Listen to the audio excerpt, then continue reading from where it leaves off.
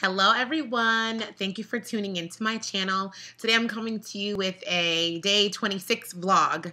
Um, so today is March 7th and um, the 30 day challenge is going well. I actually missed um, like a week. And so that's why, even though, like, you know, the challenge in terms of like month to month is over, I'm still on day 26. Here, Munchkin. So I'm on day 26 because I missed five of the days during February. Um, and uh, I was actually in Atlanta for uh, a few days and um, had a lot of preparation to do for Atlanta.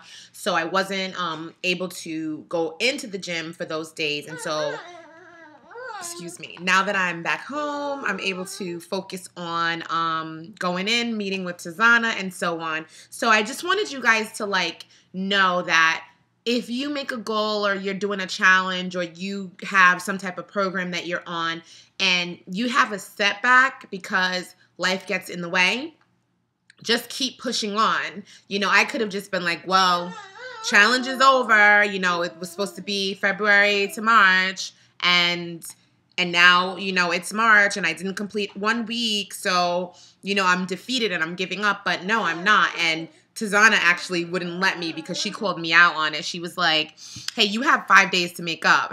and I was like, "Oh, okay, that's great." Um so don't give up. Keep pushing forward. Uh, while in Atlanta, I was open to a repertoire of food that I usually don't eat um, you know, like on a daily basis at least.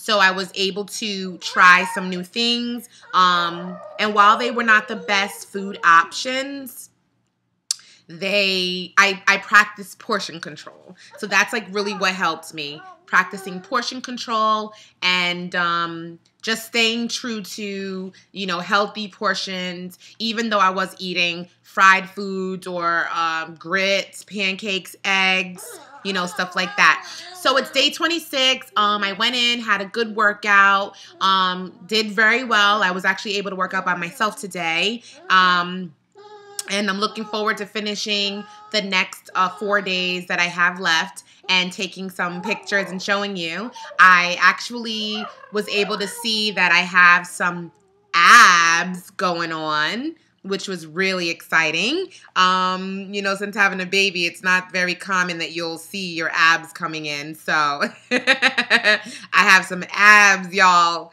That was so exciting. Um, but yeah, other than that, like I had, like I said, there was a whole week I didn't work out at all, but I focused on my eating, I focused on my portion control, and now I'm back and I'm working out again. Um, and even though I wasn't able to go in with the trainer, I went to my own gym and I did some cardio uh, two of the days that I wasn't able to go in to meet with the trainer. So I was still focused and um, the weight is still off.